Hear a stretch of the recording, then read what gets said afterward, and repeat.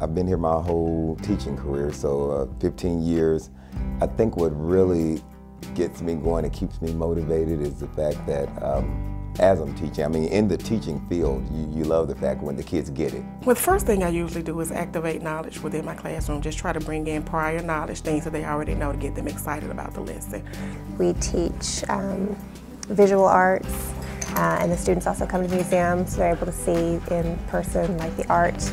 They talked about it in class. They see it, um, the originals, and it's important because it helps students with their other classes. Art is a way of letting them express themselves and also become more comfortable and confident without worrying about a right or a wrong answer.